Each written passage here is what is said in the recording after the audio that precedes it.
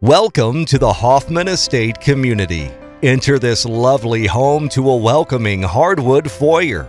On the upper level, enjoy a kitchen with white cabinetry and stainless steel appliances. In addition to the three full baths and four bedrooms, there is also an office.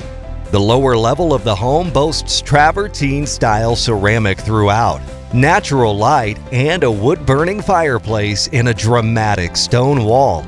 It has a fenced backyard too. Call the Nancy Eisele team to learn more.